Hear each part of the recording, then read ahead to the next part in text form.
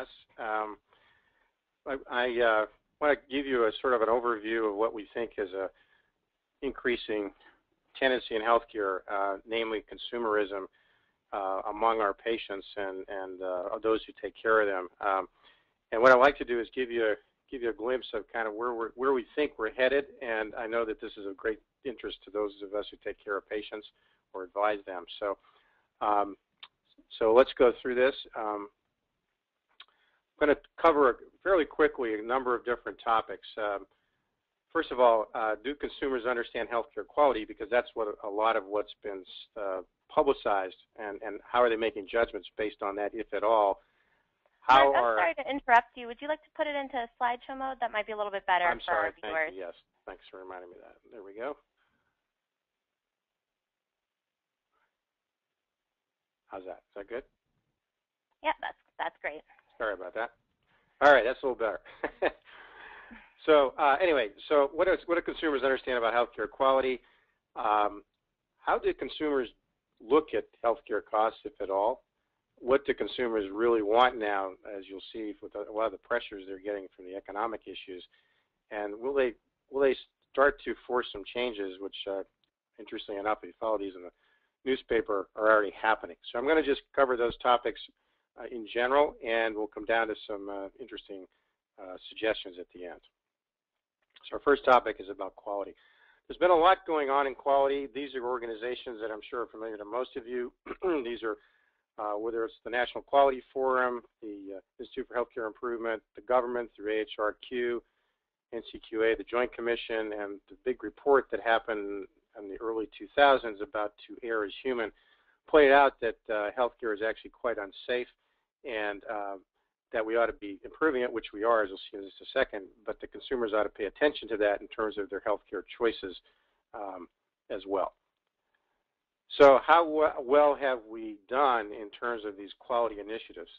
Actually not very well. Uh, the AHRQ report, that's a federal agency in 2011, shows there was some improvement in acute myocardial infarction intervention, which is good, but only a slight improvement in routine screening for healthcare issues and actually very little progress in lifestyle uh, modification. So kind of a maybe a C plus B minus in that regard. The hospital safety was addressed with the IHI, the uh, Institute for Healthcare Improvement, 100,000 Lives campaign, which did show some some good progress in that, but that has not really spread as far as we would like to go. So again, that's probably a good thing, but not as viral as we like to have been. And then checklists and bundles you've heard about. Um, to basically uh, use these instruments, particularly the checklist, to be sure things are being done right every way, very similar to what they do in the aviation industry, and that's that's helped. Um, so let's look at a minute what you can do with this. This is actually our our progress in for a health system. That's HFHS, where we looked at harm events and hospital mortality rates. This is a busy slide. I don't want to show everything here, but you can see there are a lot of different things you can do. Uh, controlling insulin, uh, doing a sepsis protocol. This is all in the hospital, by the way. Uh, taking infection control down to a uh, and, and, making tremendous progress in this. And you can get quite improvement in the overall hospital uh, mortality and also uh, events that relate to hospital mortality if you do a lot of different things. Now, this has been in the press, but largely people, the average consumer, doesn't follow this or understand it. This is something that the industry should be doing and is doing and, and has been working. But that's not what consumers are necessarily seeing, as we'll see in a second. But healthcare, having said all this, is not particularly highly reliable compared to other things that we see. Uh, high reliable organizations rarely have accidents. The airline industry is quite safe, um, has really made tremendous improvements. Nuclear power plants, except when there are uh, tsunamis, almost never fail. And yet, when we look at the hospital statistics, there are almost 100,000 deaths from hospital-acquired infections alone every year in the United States, which is an incredible number. Um, 600 operating room fires a year, and wrong-sided surgery in this country happens 50 times a week. Now, these are big numbers, but they're spread over 4,000 institutions. So the average patient doesn't see that. In fact, probably considers that their local hospital is pretty safe. But if you compare it to what happens in the airline industry and other high performance industries, this is actually a pretty bad record. So we haven't done a great job in that, and, and yet patients still feel that their hospitals are generally safe. So there has been a, a tendency to use public reporting about these things um, to have consumers make healthcare decisions. So the question is, do they actually use these public reports about safety and quality and so on to make decisions? And, the, and the, this is a report that came from the Kaiser Family Foundation. And the answer is, as you can see here, consumers who actually look at this information at best use it maybe 15% of the time to make a decision. So these, these reports are not things that people are using very vigorously to make healthcare decisions. This report ends in 2008 because the Kaiser Foundation got sick of seeing this because they basically had the same information every single time. Very few people were using these to make the, these, these data, these publicly reported data, to make healthcare decisions, which seemed kind of strange. So that raised the issue as to whether we're actually giving people information they can understand and use every day. And that actually makes the question, what do consumers really want? Well, consumers actually have a lot of information coming at them. Um, you're well aware of these. Consumer Reports is, has gotten into healthcare pretty pretty deeply now. It's a very good place to buy a car. Uh, that didn't used to be the case, but they have tremendous information about these kinds of uh, transactions. Healthcare is more complicated, but they do a pretty good job of that. Consumers do look at consumer reports. The other uh, part that people look at is U.S. News and World Report, best hospitals, and so on. Um, that that gets some play. Uh, it's pretty complicated to understand some of this information, so we're not quite sure how patients make a decision that way. And then Hospital Compare is a is a public website where you can actually look at your hospital, and we'll, I'll show you that in just a second and see what its results are. do people use that? That's a pretty pretty powerful instrument to see what the quality is, to see what your local hospital can do. So that's where consumers can find this information. The question is, is it very useful to them? So I'm going to take you through a little bit of a, a example here of how you might use this type of information. Uh, I call this hospital compare is just like Wobegon where everybody's above average. And I'm going to use the example in, in, in Boston where, where uh, Elizabeth and I both live. On the south shore of Boston, which is about 20 to 30 miles south of downtown, uh, I'm going to compare three hospitals. One is Mass General, uh, which is a large uh, urban academic medical center downtown, very famous and very good. South Shore Hospital, a mid-sized hospital that's in a town that's about 20 miles south of Mass General, and there's an affiliation with Mass General, and a smaller hospital in Plymouth, home of Plymouth Rock, which is quite small and is affiliated with another organization. So very big, high-tech, medium-sized suburban hospital in the middle, and a small hospital in, the, uh, in a small town uh, in, uh, in the Jordan Hospital. So let's look at those hospitals. What we're going to look at as is congestive heart failure, and that is a um, uh, oops, excuse me, very common common disorder. And so we're going to look at the Mass General, that's MGH, Shore Hospital, SSH, Jordan Hospital, and then the national average. So I'm going to ask you ask the question how these hospitals compare one to the other in this in this uh, particular outcome, which is percent of patients uh, who uh, who uh, were um, who had congestive heart failure who died within 30 days of admission. So uh, readmission, I'm sorry, the mortality here and readmissions here. So these are two standard metrics that are used as surrogates for quality by the federal government. So what stands out in orange is the Jordan Hospital. Their readmissions are slightly higher than the rest, but you can see all of them have roughly the same mortality, the 30-day mortality rate, and all of them have roughly the same readmission rate. This orange number means it's statistically significant, but to the average person, these all look about the same. So how would you make a choice of that? The answer is those numbers don't don't necessarily resonate with people as to showing a difference. Now, if you look at Boston versus Detroit, where I used to work, we're going to look at the same thing. Again, Mass General and so on. These are the these are the Massachusetts hospitals. This is Henry Ford Hospital, where I used to be, and Beaumont Hospital, which is a suburban hospital there. Does a lot of cardiac work. You can see that these two hospitals, Jordan and Henry Ford, have slightly higher admission rates than than the rest, and certainly higher than the national average. But these two Detroit hospitals have a lower and statistically significantly lower mortality compared to the others. Now, does that mean you move to Detroit to get your cardiac care? No, that would be silly. And so people are looking at these numbers and say, you know, these don't jump out at me as being significant one way or the other. If this were this number were twice uh, twice the difference of that, that might impress me. But they're close enough, and so would I even pay attention to that? So this is why consumers look at healthcare a little differently than we might think. They look at healthcare quality, and if you look at aviation, when you're sitting in a plane, you usually aren't thinking about a plane crash. You're thinking about whether the seat's comfortable, whether you can use your computer, and whether your baggage is going to get there with you, and you're going to arrive on time because this is a very safe, safe organization or a very safe delivery system. People don't worry about that anymore. The question is, do they worry about healthcare? And that's what we're going to talk about next. What do patients worry about?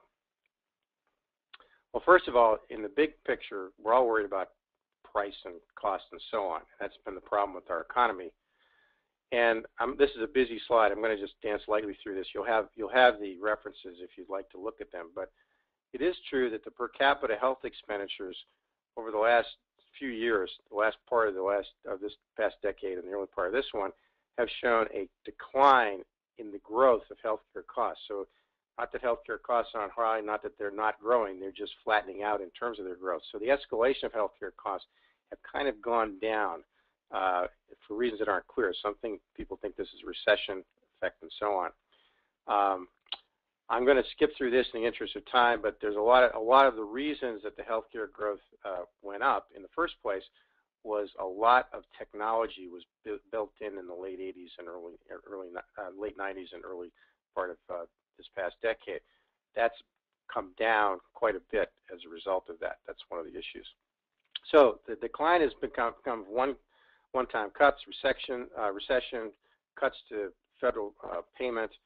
Uh, the drug benefits have, have uh, come down to really um, shift from blockbusters to generics and shift to outpatient in general for healthcare. But this is the point I wanted to make. 30% of insured patients have deductibles as part of their health plan of over $1,000, and that's actually going up fairly rapidly. The Obamacare does actually acknowledge that this can happen and actually allows it, uh, uh, this to happen. Uh, copays have gone up. Meanwhile, median income for the average person has gone down 6% over a decade, and office visits and procedures have fallen off in the last part of the last decade. Uh, so something's going on, and what we think is that consumers are feeling this bite and are starting to vote with their feet, that they're going to start looking at prices and looking at value. And this is important because even people who have insured insurance, this is public insurance or private insurance, as you can see here, versus the uninsured shown here, they still have problems with their medical bills. So you can have insurance, but insurance that bites your own personal pocketbook can be a disaster. And more and more of insurance is being structured that way so the patient has more out of pocket costs. Uh, employers can't afford the costs anymore, so they're pushing it a lot to the consumer. So you may have been seeing that in your own practices that people are having a lot of trouble uh, figuring this all out. The cost issue has now come to the press and made front page news. Um, Peter Ubel, who's a physician in North Carolina, talked about the fact that the cost of care is actually a, a health risk because if, if the cost destroys your family income or your family piggy bank, uh, leaves you vulnerable for other things. And this particular slide was taken showing a simple dermatologic procedure that turned into about a $5,000 bill for a patient who arguably didn't even need to have it. So uh, patients are getting a lot of lot of information coming through the press right now about how expensive healthcare is. So to patients, in my view, patients' healthcare is an alien environment. Uh, prices are outrageous and incomprehensible. If you've ever gotten a bill, uh, even I, I understand this pretty well. I ran a large practice. Even I can't figure out the bills sometimes. Uh, it's hard to access the system and get and, and get personal information out uh, often, in many cases. Uh, retail industries, um, other consumer industries people are used to shopping for and so on, are much better compared to healthcare. Healthcare is pretty pretty woeful in regard to in comparison to service industries and retail industries that people see. And care is uneven and sometimes dangerous. We know that, that that's true. And yet, despite all these negative things, most hospitals and docs, in most people's opinion, are okay. They don't think they're really bad. They don't think they're particularly dangerous. Uh, they're okay. So, what are patients actually looking for? What do they want and really need? So, the question is, how do patients make healthcare decisions? Well, it turns out the literature is not very, very robust on this, but it turns out that patients are now, we think, moving more toward a price consideration uh, as opposed to some other things that they might have been uh, doing before. Uh, that doesn't mean for everything. If you need to be treated for cancer, you may, you may decide that that's worth it at any price. But some other things like elective joint surgery, as I'll show you in a little bit later, there may be a big issue there. Convenience is very important. Most patients think the best, their favorite hospital is the one that's in their town because they know it, it's convenient, they, they, they've probably had care there or had relatives, and it's close by. So that turns out to be, if you ask people how they make decisions, that's one of the biggest ones, convenience. Word of mouth referral from a physician or a trusted person, friend or relative, is very important, very important. The ambiance and service, whether they have you know great food or don't, um, and so on, not as important as many people think. People would rather have uh, a, a good deal in a convenient place and a place that people know than than service. Quality reports, this is the point I was trying to make earlier, not so much. People just aren't paying attention much to that. That was a big, big aha moment in, in people's minds over the last year. Marketing, too much noise in the background, wherever you are, there's always marketing among healthcare providers, and everybody claims to be the best in everything or something, and people stop paying much attention to that. So these are just some of those, just said that uh, before, these are some of the things that uh, there's some literature around this that uh, that supports this. So price, convenience, and word of mouth extremely important. The others not so much, and the quality reports probably have missed the mark. So it was a nice study by the Robert Johnson uh, in October where they asked consumers who shopped around for healthcare what what do they actually think about healthcare costs. It's very interesting because economists will think of costs as what the country's paying Patients think of costs as what they pay for. They don't care what anybody else is paying. What do they pay for, including their insurance? So this is the out-of-pocket costs and so on. People have little understanding why these costs are rising because it's very hard to figure out. The costs are hitting the family budget and forcing some economic trade-offs. And uh, health is, is very fragile, and this results in some fear and anger when people get sick. And also the factor that high price may be linked to where you, the hospital is located example, downtown, not necessarily to quality.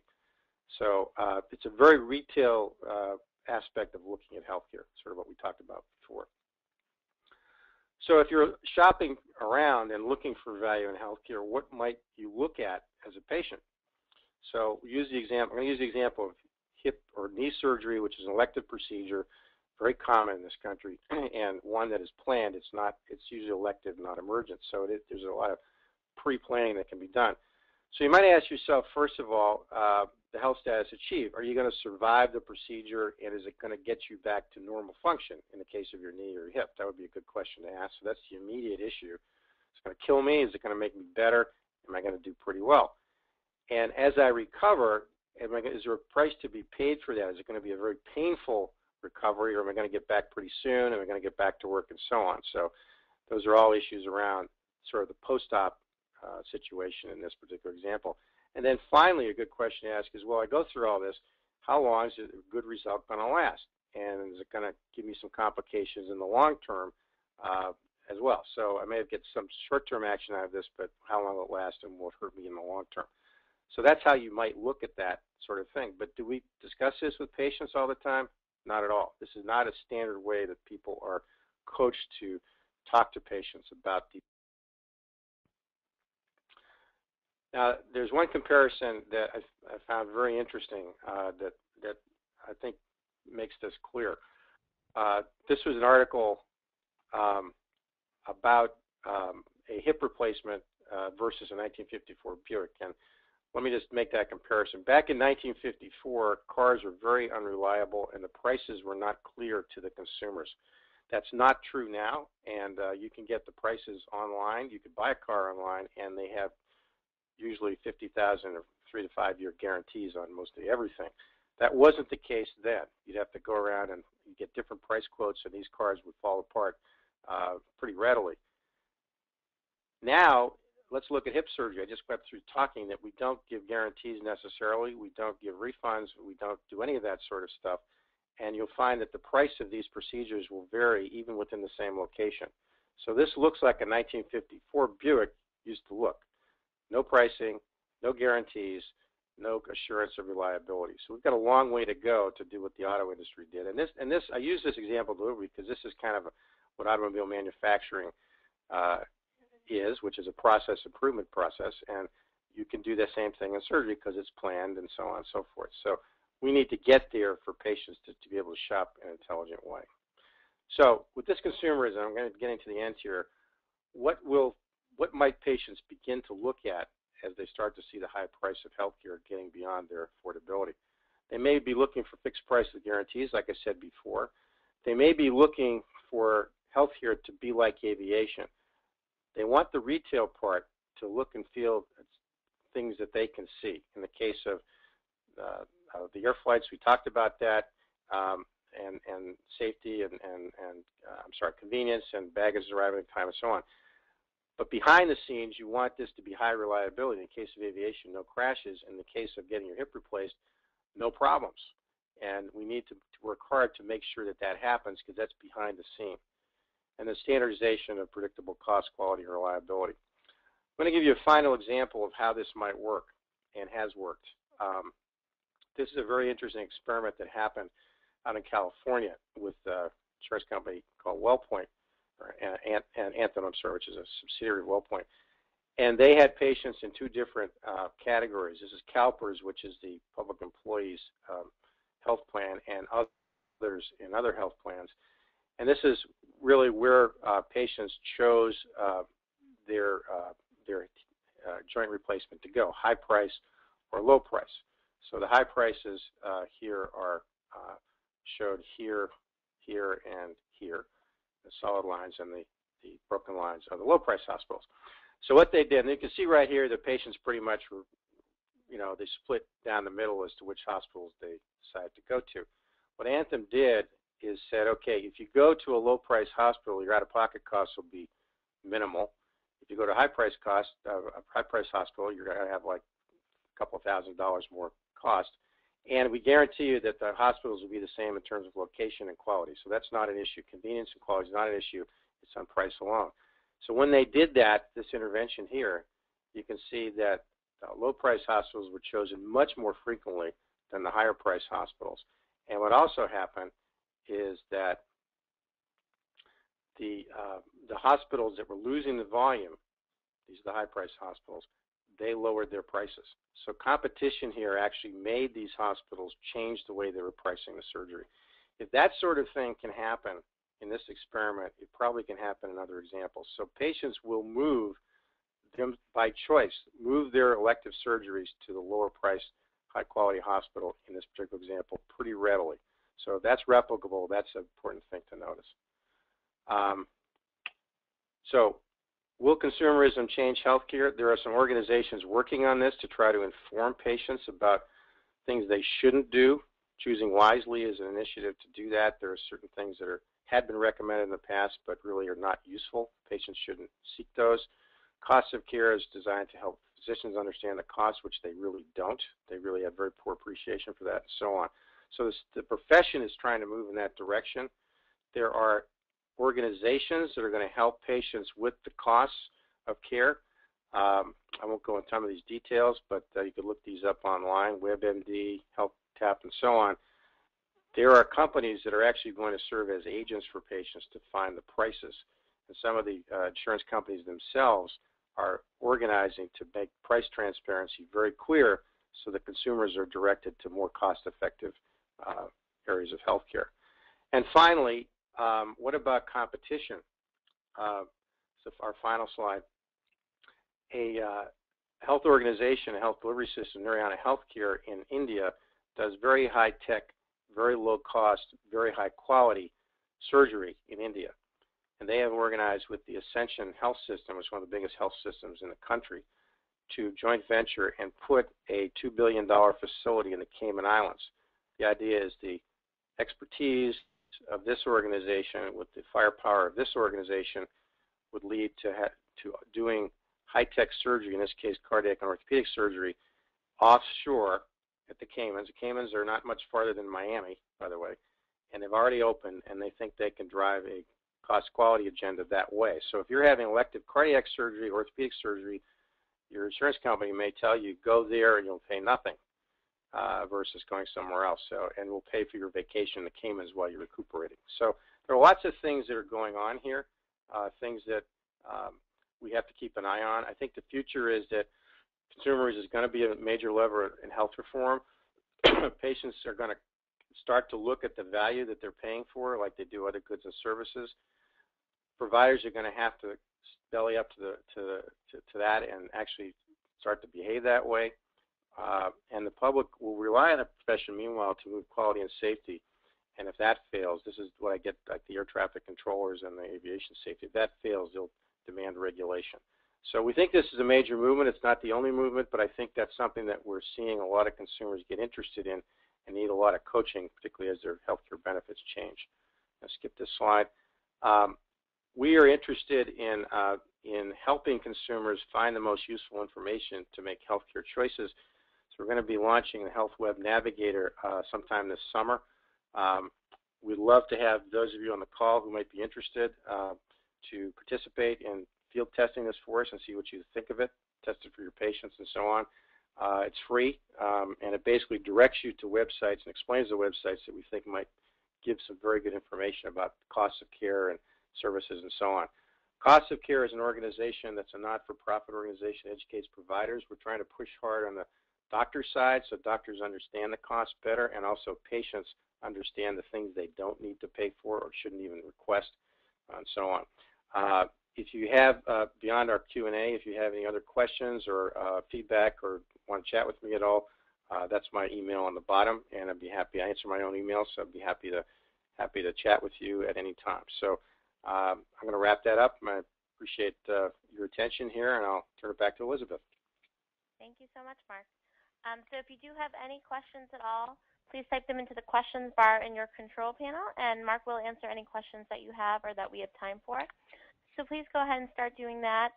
In the meantime, just to remind you, you can contact me. Um, you'll get an email from me with uh, my contact information, elizabeth at needymeds.org. If you do want a copy of the slides or have any questions about NeedyMeds, um, you can also contact Mark, of course, at that email address he provided there. A recording of this webinar will be available on our webinar library page on our website, as well as in our on our YouTube page as well. So you'll be able to view, view a recording or refer someone to a recording of this webinar, probably within the next few days, we'll get that up there.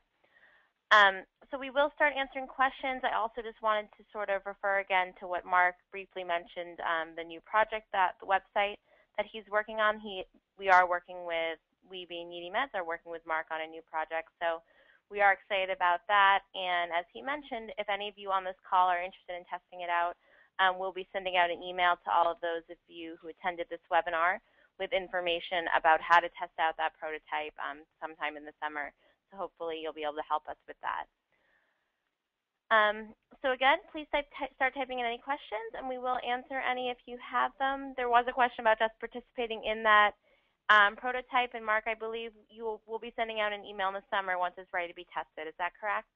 Yes. Uh, what we'll do is we'll have, excuse me, uh, this is this is a, a, prototype. This is not not uh, ready for um, you know open open website, but uh, with your assistance, since uh, many people here are very close to to patients, um, we'd like to see if, if you think what we've set up as a test as a test uh, mode prototype suits the suits the the service that we claim to give, and any suggestions you might have for improvement. So it'd be really helpful for us to, to hear from experts in the field who are dealing with patients all the time to see whether what we provide is understandable and useful. And uh, and we will, even when we do get this website up live uh, later, we will continue to have refinement from feedback from patients. But meanwhile, what we'll probably do is have a have a website that you would enter securely, um, and uh, then you can look at it and, and, let us know what you think. Uh, it would not take a lot of time. I would say it'd probably take uh, 10 or 15 minutes just to go through it,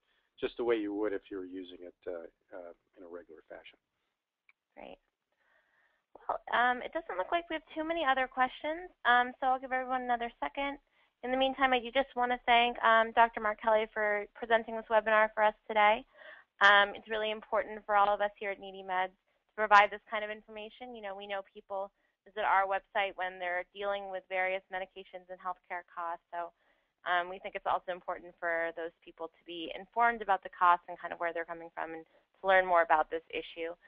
Um, it does look like we got a question. Just one, hold on one moment as I read through.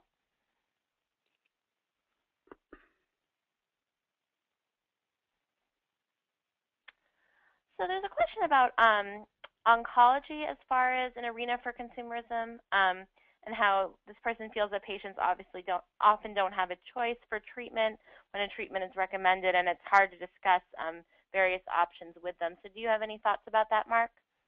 So it's a very good question. Uh, it, it, comes down a couple of things. Uh, one is the the uh, among choices how how effective, forgetting about the cost, how effective those those particular choices may be, both in terms of longevity, cure, and, and uh, quality of life. So it's a very complicated thing.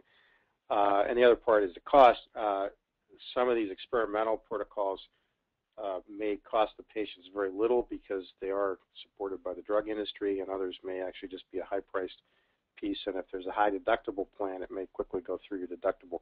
Uh, but I, I, think the question is um, how much uh, how much patient-centered discussion is there about any treatment for that matter in terms of patients can understand. And I, I find I'm a pulmonary physician by background, got a lot of experience in pulmonary critical care, a lot of experience with uh, both complex diseases, chronic diseases, and of life care.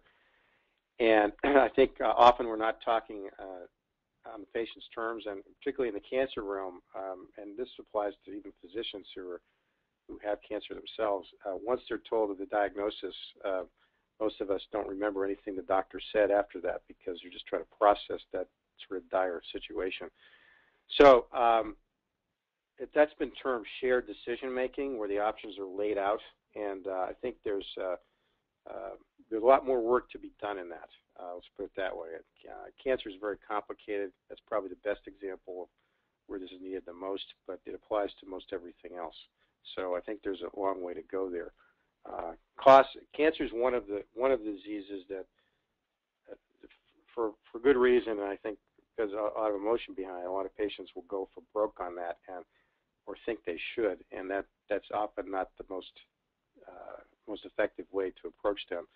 It really needs to be an options they can understand um, and trade-offs that they may have to make, both in terms of their own personal interests, their family's concerns, and and their own their own pocketbook. So we have a long way to go to make that uh, to make that a great uh, approach for the patients.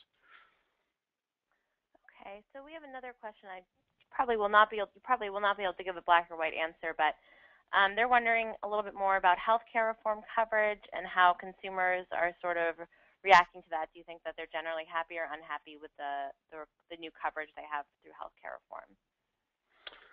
That's uh, good. Another good question. Um, I think the answer is mixed. Um, the people, uh, I'm going to give this in a, a sort of simplistic uh, form, not because it's a simple question. It's just the only way I can sort of think about it myself. People who didn't have insurance, who don't have to pay much for it, are delighted. Um, obviously, people who have insurance already and didn't get subsidies may actually see their costs go up uh, because the because there's payment for the uninsured, they're becoming the population, and so on.